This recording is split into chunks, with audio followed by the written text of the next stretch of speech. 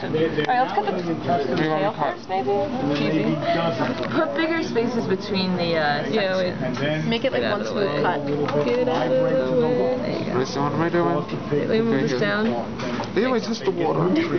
Oh, relax. It's just distilled water. Why does it say unsafe water? It gets me really nervous. I don't know. I don't, yeah. This is, Alright. Alright. Can you can you manage to cut? Okay. Yeah. Yeah. Lift Right. that up. Lift that up. The A one. Yeah, because it'll go under the there you go. Okay, I hate dissections. You don't have to do it if you want to do it.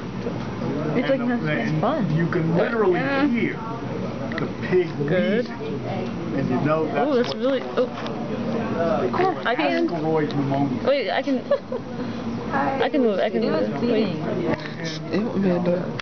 To the farmer, that's, you know, Ah, they've wait, don't- gotta don't get touch a veterinarian to come in and Um, either take care of it or whatever. Yeah, it's good. Go a little more to the. Yeah, I got the, the video on the Okay, picture. Should I Well, pin you know, it? Joe will never be a surgeon. Oh, Just pin it. The, um, Alright, so focus just on that area. this area? Yeah, just focus I don't think there's anything in Can you pin it open, like pull the sides apart and pin it, like?